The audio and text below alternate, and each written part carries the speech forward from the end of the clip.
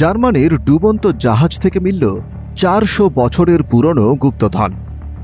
পশ্চিম ইউরোপের এই দেশটিতে গভীর সমুদ্রে প্রায় ধ্বংসপ্রাপ্ত একটি ডুবন্ত জাহাজে সন্ধান মিলেছে চার শতাব্দী পুরনো এই অমূল্য রতনের।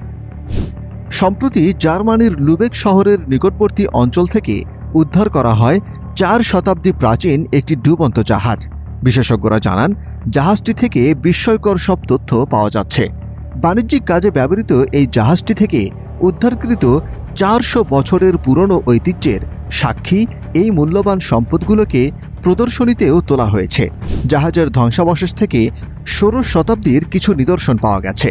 উদ্ধারের প্রায় আঠারো মাস পর সপ্তাদশ শতাব্দীর এই বাণিজ্যিক জাহাজটিতে পাওয়া সম্পদগুলো প্রত্নতত্ত্ববিদরা প্রদর্শন করেন। জার্মানির উত্তরাঞ্চল থেকে উদ্ধার হওয়া নৌযানগুলোর মধ্যে এটি প্রথম বাণিজ্যিক জাহাজ। প্রকল্প প্রধান ফেলিক্স রয়েস এক সংবাদ বিজ্ঞপ্তিতে জানান, আমরা আমাদের আশাতীত প্রত্ন নিদর্শন পেয়েছি এবং এই সব জিনিসপত্র থেকে অনেক নতুন তথ্য জানতে পারব।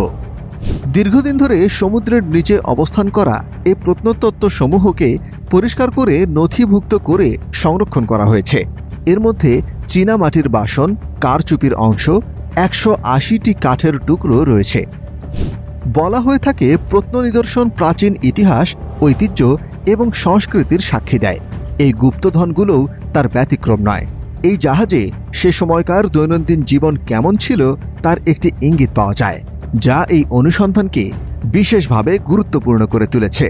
বাল্টিক সাগরে এর আগে বেশ কিছু যুদ্ধজাহাজ পাওয়া গেলেও এটি প্রথম বাণিজ্যিক নৌযান, যা সেই সময়কার বেসামরিক জীবন সম্পর্কে ধারণা দেয়। পার্সেলিনের টুকরোগুলোতে পাওয়া প্রাণীর হাড় থেকে ধারণা পাওয়া যায় বোর্ডে কি খাওয়া হয়েছিল। মোদ্দা কথা, জাহাজটির সম্পর্কে এক প্রকার সমূহ ধারণায় পাওয়া গেছে।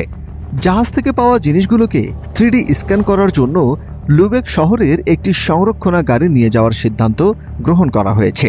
ডুবে যাওয়া এই জাহাজটি কিন্তু খুব বেশি বড় নয়, তাই হয়তো এর ভেতরে খুব বেশি যাত্রী কিংবা নাবিকেরাও ছিল না। দুই হাজার একুশ সালের নভেম্বরে জাহাজটিকে প্রথম জার্মানির উত্তর পূর্ব অঞ্চলের বন্দর নগরী লুবেকের কাছে ট্রেভ নদীতে খুঁজে পাওয়া যায়।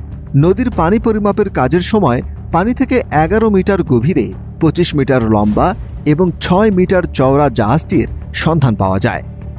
বিশেষজ্ঞদের দাবি, জাহাজটি স্ক্যান্ডিনেভিয়ার উদ্দেশ্যে রওনা দিয়েছিল, কিন্তু গন্তব্যস্থলে পৌঁছানোর আগেই দুর্ঘটনার শিকার হয়। প্রাপ্ত নিদর্শন থেকে জাহাজটির ডুবে যাওয়ার কারণও আবিষ্কার করা গেছে।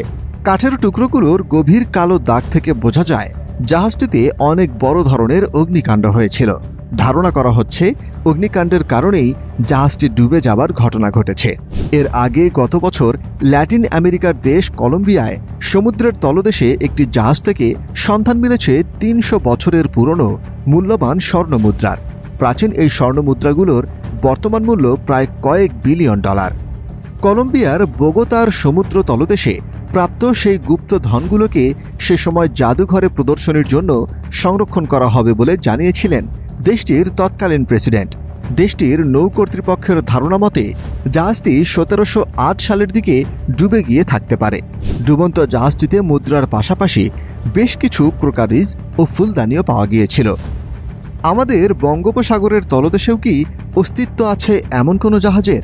আপনার মতামত আমাদের কমেন্ট করে জানান। এরকম আরও রহস্যময় ভিডিও পেতে এখনই আমাদের চ্যানেলটি সাবস্ক্রাইব করুন এবং ভিডিওটিতে লাইক দিয়ে আমাদের সাথেই থাকুন। আজ এই পর্যন্তই। See you guys in the next video till then good bye